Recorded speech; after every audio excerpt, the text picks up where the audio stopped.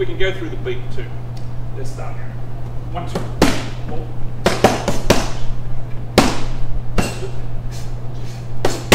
Okay, folks, I'm here today with my good buddy, the Kosovo Krusher, and what we're going to do is show you some different techniques you can use to make your pad work more interesting, more effective for your boxing skills, and also more effective for your fitness regime. First off, we're going to do the basic skills. The first thing we're going to do is the basic jab. Movement back, everyone. You're coaching all the way. Different movement patterns, forward and back. And we're also going to do the basic one, two. So we're going to add some evasion in it. And again. Good. And we're going to do the left hook. One, two, and left hook. Okay? Right up I go. Left up go. Right up. Left up I go. Okay, great. We've got all four basic punches.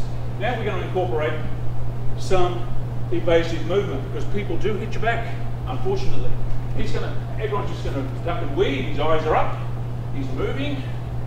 He's using the correct technique and he's going to also counterpunch this time.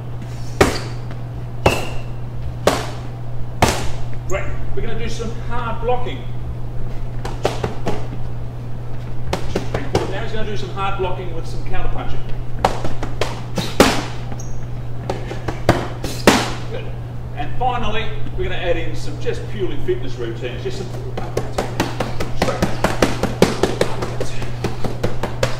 Great. So all of those techniques, the punching, the evasive work, the fitness work, we're going to combine into a little routine for about the next minute. You got it in your champ? Of course you have. Let's go.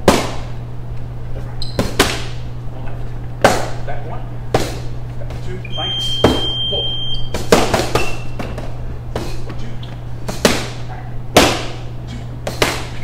One. Right. Baby work. Hard blocks. Hard blocks with me.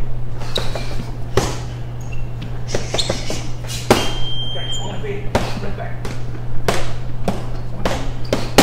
Left foot right across.